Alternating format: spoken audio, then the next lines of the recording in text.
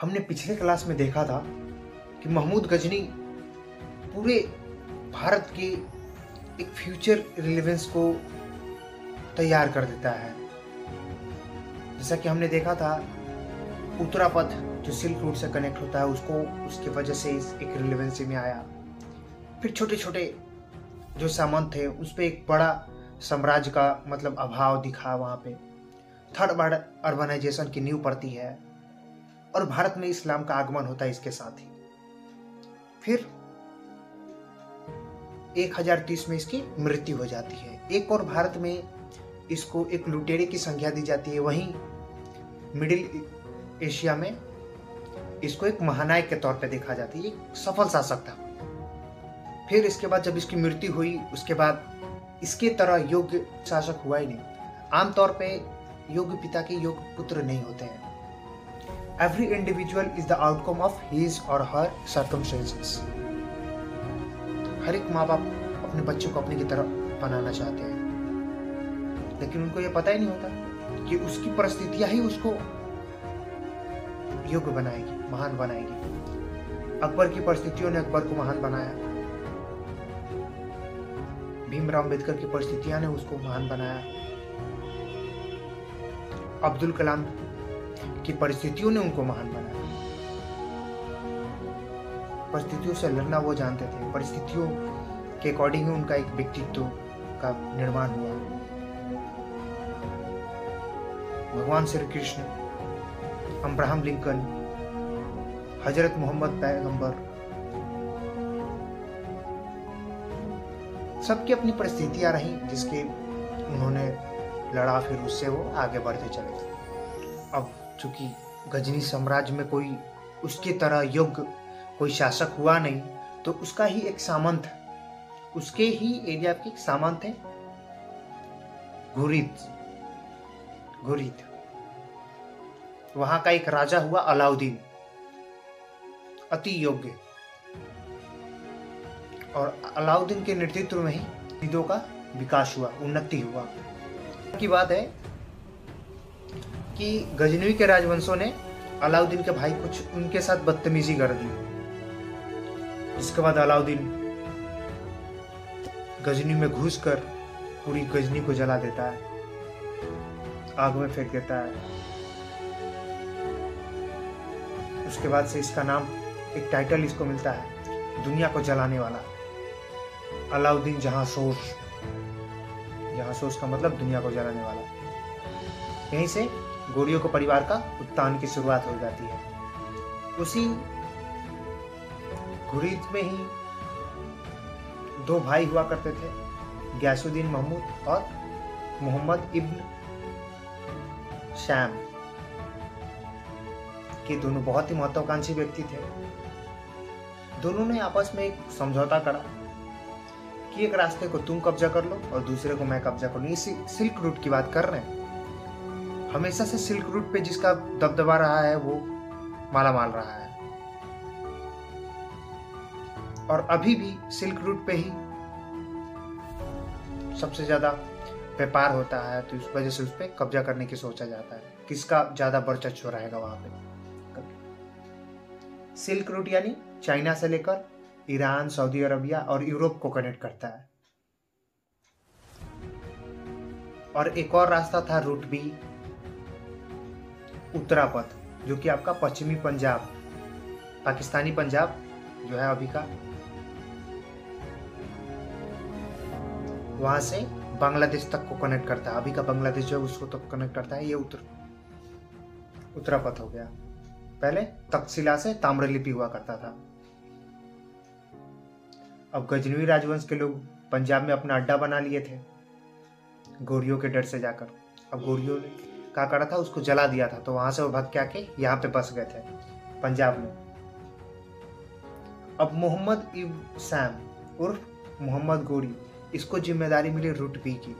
और रूट ए की ज़िम्मेदारी उसके बड़े भाई गयासुद्दीन महमूद को मिली थी। तो दोनों अपना अपना तरीके से दोनों पे कब्जा करेंगे। अब चूँकि इनको ज़िम्मेदारी मिली रूट बी की उत्तरापथ तब इनको उसके लिए भारत में घुसना होगा। उत्तरापद के कब्जा इनका उद्देश्य रहा। तब भारत में घुसने के लिए दो दरवाजे, खैबर और बोलन। खैबर पे गजनवी बैठे थे और बोलन। तो इनको लगा कि बोलन भारत में घुसने का दरवाज़ा है। प्लान बनाया इन्होंने अपना, कि हमको ऐसे ऐसे करके घुसना है बोलन के दरवाजे से। तो सत्रह सौ अठहत्तर में इन्होंने प्लान बनाया और घुसने का सब कुछ कर लिया। तो चलते हैं। सेना उन्हें लेकर पहुँचे अब लेकिन वहाँ पे एक बहुत बड़ी बाधा है रन ऑफ़ कक्ष। वहाँ अच्छी अच्छी आर्मी फंस जाती है। सप्लाई रुक जाते हैं वहाँ पे। उसने वहाँ से घुसने की कोशिश करी। और गुजरात का एक शक्तिशाली राजा, मूलराज, सोलंकी राजा। एकदम तैयार बैठा था। आओ कितनी दौड़ा दौड़ा के मारा एकदम घोड़ी को दौड़ा दौड़ा के मारा कैसे कैसे, कर करके अपना जान बचा के भागे गौरी। फिर इनको समझ में आ गया कि ना ना, भारत का दरवाज़ा बोलन नहीं है। भारत का दरवाज़ा है खैबर। अब इनको समझ में आ गया था भारत का जो दरवाज़ा है वो खैबर है। और खैबर के दरवाजे पे था गजनी राजवंश के लोग। उसका अंतिम राजा कौन था? खैबर के दरवाजे पे खुसरो मलिक। अब मोहम्मद गोरी ने लाहौर का घेरा डाल दिया।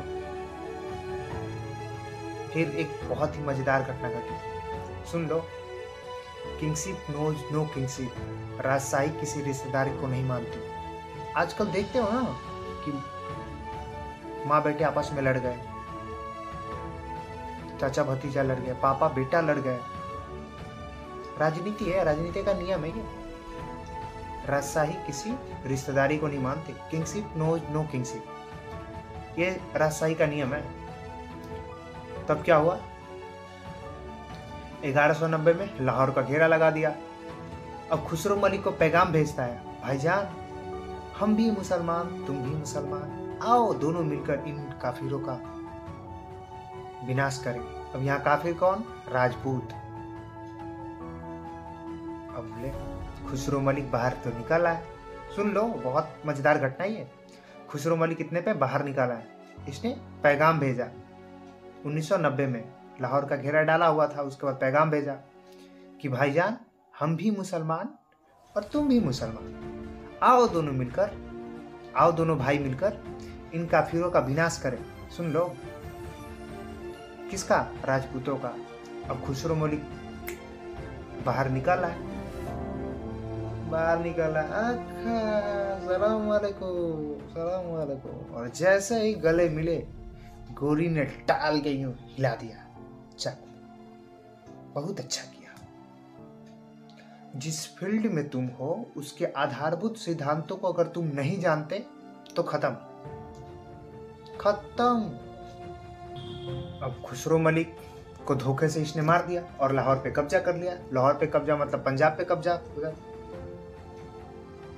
और उस समय दिल्ली पर पृथ्वीराज चौहान, राजपूत शासक।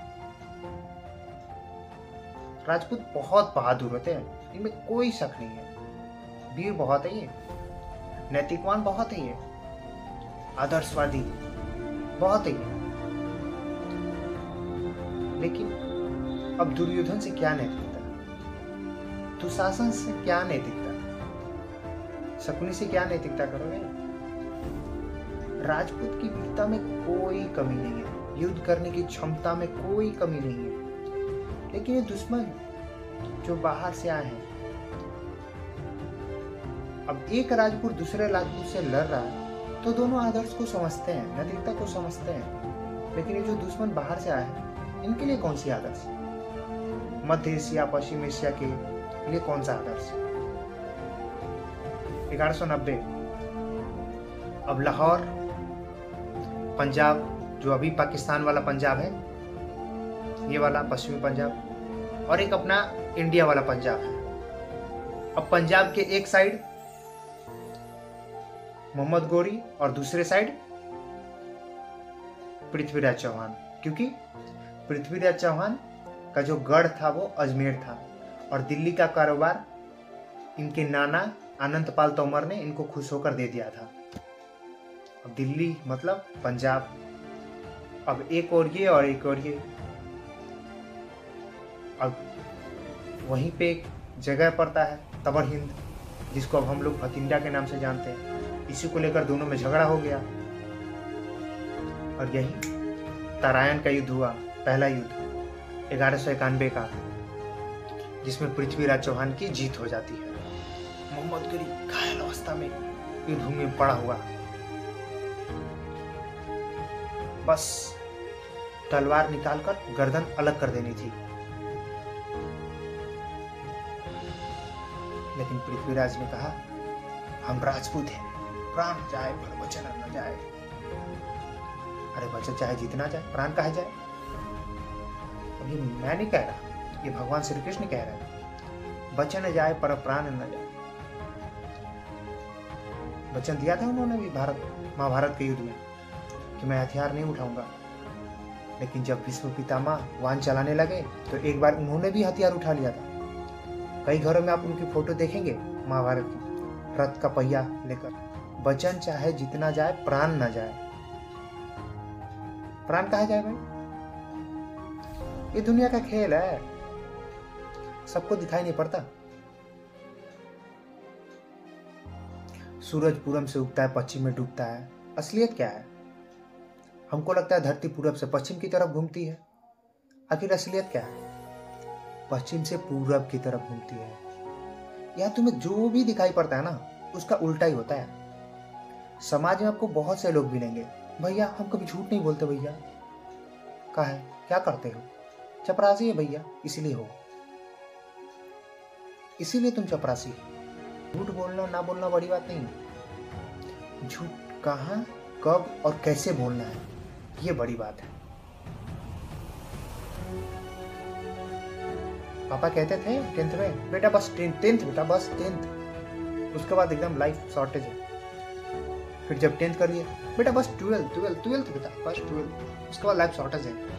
बेटा आई आई टी भैया, बेटा I I T I T I I T भी कर लिए घस पटेर के। तो पता चला कि अरे फलनवा का, शर्मा जी का लड़का आई निकाल लिया। तो, तो बेटा बेटा फलनवा का बेटा आई निकाल लिया। पंद्रहवा रैंक बेटा बेटा प्लीज़ बेटा। अब तुम उसमें भी तीन चार साल खटे। निकला। फिर उसके बाद तुमको मिल गया यूपी बिहार का कैडर। ज़िंदगी मतलब युद्ध। लड़ना तो पड़ेगा। पर किससे लड़ना है? कब लड़ना है? और किस मुद्दे पे लड़ना है? ये पता होना चाहिए। लड़ाई को तो तुम्हें है ही। छोड़ेगी थोड़े। किसी को नहीं छोड़ा उसने। छोड़ा ही नहीं। कोई नहीं बचा। नियम है ये। कभी टूटा ही नहीं। पृथ्वीराज जी ने पहले तरान के युद्ध में मोहम्मद गोरी को छोड़ दिया। बोले, हम राजपूत हैं। अरे, तुम नहीं मार सका थे। तो किसी और से कह देते, सब वहाँ राजपूत ही थोड़ी थे। और भी तो लोग रहे होंगे। उनसे कह देते। कि तुम जरा लोग इसको अलग कर दो। देख लेना। जी भैया जी भैया। पर मोहम्मद गोरी योग्य, युवा, डायनेमिक, उसके आदमी उसको उठा कर ले गए, पहुँचा लाहौर। जितने अधिकारियों ने गलत सूचना दी थी, सबको लटकवा दिया। और अपनी पत्नी को खत लिखता है। सुन लो, अपनी पत्नी को खत लिखता है उसने कि अब मुलाकात या तो जन्नत में होगी या दिल्ली में। क्या जज्बे वाला आदमी रहा होगा ये? एक साल एक साल पूरे वो युद्ध के मैदान में ही रहा।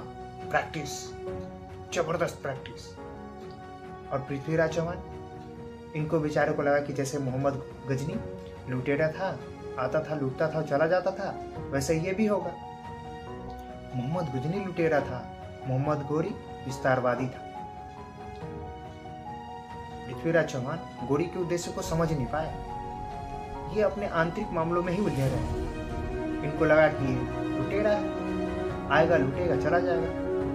और उसने अपनी तैयारी करी। बहुत ज़बरदस्त तरीके से तैयारी करी। और ग्यारह सौ बिरानवे में दूसरा तराइन का युद्ध हुआ पृथ्वीराज चौहान हार जाते हैं।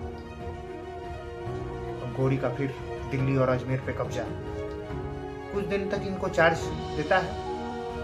लेकिन उसके बाद इनको ख़त्म कर देता है और फिर दिल्ली और अजमेर का चार्ज अपने कुतुबुद्दीन ऐबक को देता है और फिर यहाँ से ये चला जाता है कि लो भाई तुम ही को संभालो मैं चला अपने भाई का मदद करने और फिर यहाँ से ये खुद चला जाता है और अभी कन्नौज में एक और ताकतवर राजा था जयचंद घेडवाल वंश का ऐसे कहा जाता है कि अगर जयचंद ने पृथ्वीराज चौहान का साथ दिया होता दूसरे तरह के युद्ध में तो पृथ्वीराज चौहान नहीं हार पाते। अब नहीं दिया, जो भी हो, नहीं दिया साथ। नहीं दिया नहीं दिया, ज़्यादा हम लोग नहीं जाएँगे।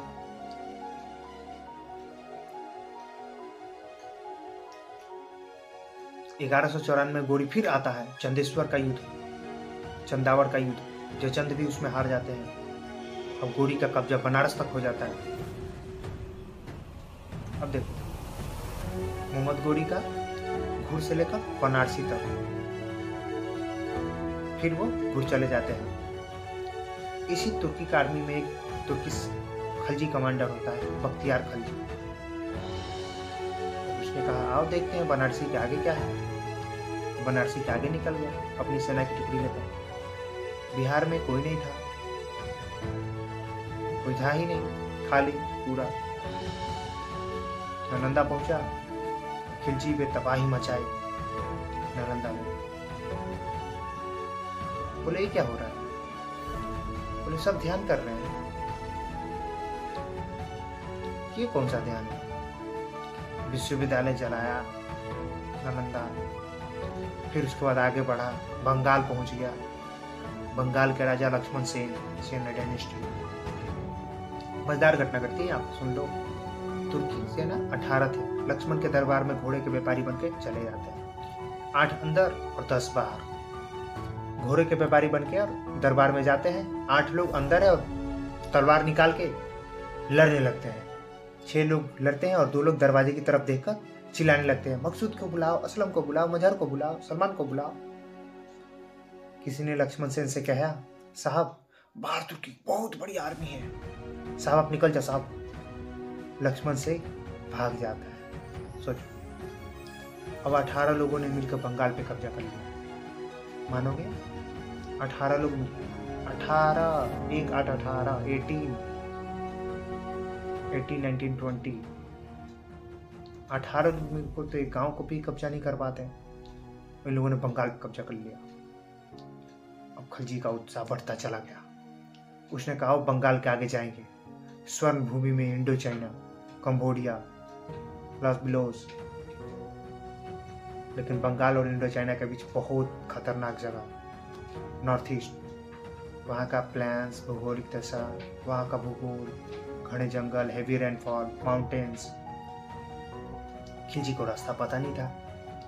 और ये नॉर्थ ईस्ट के अंदर घुसने लगे। जब ये नॉर्थ ईस्ट के अंदर घुसने लगे तो नॉर्थ ईस्ट के कबीले जो होते थे, वो पीछे हटने लगे। इनको पीछे तक ले गए एकदम नामचा वर्मा जब दीप अंदर दूसरे किनारे पर चले गए तब ये सारे आदमी जो पेड़ पर बैठे थे, हमला शुरू कर दिए। इनके दो तिहाई आदमी खत्म। किसी तरह जान बचा कर। बाहर आए। बाहर आए तो उसने, उसका एक सिपाही था, मुबारक था। उसने पूछा कि सरकार आपको पता था अंदर क्या है? उसने कहा, नहीं, मुझे नहीं पता था। बस क्या था, उतने में इसको चाकू डाला, पेट में और घुमा दिया कहा, बदतमीज जब तुझे पता ही नहीं था कि अंदर किए जाना है। अंदर क्या है? तो जान देने गया था। बख्तियार खिलजी की यहीं हत्या हो जाती है। और बारहवीं शताब्दी के अंत होते होते घोड़ियों का घुर से लेकर बंगाल तक कब्जा हो जाता है। 1190 में पंजाब, बिरानवे में दिल्ली और अजमेर, पृथ्वीराज चौहान से, फिर चौरानवे में चंदावर का युद्ध जीतकर बनारसी तक कब्जा और अब बंगाल तक कब्जा इनका हो चुका है। तेरहवीं शताब्दी की शुरुआत में दो घटनाएँ घटी। सुन लो, शुरुआत में 1203 में अंधखोद का युद्ध। गोरी का भाई, सुना था ना गोरी का भाई जो सिल्क रूट पे कब्जा करना चाहता था? ख्वारजिमो ने इसको बुरी तरह से हरा दिया। उसके बाद सिल्क रूट पे कब्जा करने का सपना इनका खत्म। अब सिल्क रूट पे कब्जा करने का सपना इनका खत्म। जो बार बार ये गोरी आता था, यहाँ से जीत कर फिर चला जाता था, अब उधर वाला जो जाने वाला, जिसके लिए जाता था, अब उसका सपना तो खत्म हो गया। अब क्या करेगा ये लोग? तो जब आपका एक बिज़नेस बिहार में और दिल्ली में हो, दिल्ली वाला बिज़नेस अगर ध्वस्त हो जाए तो आप बिहार में ही शिफ्ट करोगे ना? तो सिल्क रूट पे हो गया तो उत्तरापथ बचा अब इनके लिए। तो एक सपना स्व ध्वस्त हो गया सिल्क रूट वाला तो दूसरा बिज़नेस कहाँ है भारत में? अब उन्हें भारत तो आना ही था, मुड़ना ही था, किसी ना किसी तरह। लेकिन एक घटना और घट जाती है 1205 में। जब आप हारते हो ना, गिरते हो ना तो मरे हुए लोग भी आपके खिलाफ सर उठाने लगते हैं। कि रियलिटी है? तो उत्तर पश्चिमी के जो कबीले थे, उन लोगों ने विद्रोह करना स्टार्ट कर दिया। ये तो पहले से ही एकदम दुखी था, सिल्क रूट का, इसका सपना टूटा हुआ था, गौरी का। बहुत क्रोधित हो उठा था। उधर से लौट के आया और खखोड़ियों का दमन किया एकदम, बहुत ही भयानक तरीके से, क्रूर तरीके से। फिर उसके बाद जब वापस लौट रहा था दमन करके तो एक जगह पड़ता है दमयक। वहीं पे इसकी हत्या हो जाती है 1205 में। अब इसकी तो कोई संतान थी नहीं। उत्तर भारत का प्रभार इसने किसको दे रखा था? कुतुबुद्दीन ऐबक को। और मध्य एशिया में कुतुबुद्दीन ऐबक क्या था? एक ताश की तरह था और भारत में एज ए गवर्नर था। अब कोई भी एक समझदार व्यक्ति, एक समझदार शासक भारत में रहना पसंद करेगा as a governor as a शासक, क्यों वो गुलाम की ज़िंदगी जिएगा? क्यों जिएगा? क्यों जाएगा उधर? नहीं जाएगा। अफ़गानिस्तान। अब यहीं पर ऐबक ने दिल्ली सल्तनत का सपना देखा। लेकिन वो भारत का पहला सुल्तान नहीं होता है। चलिए इस सीज़न में इतना ही, मिलते हैं अगली वीडियो में।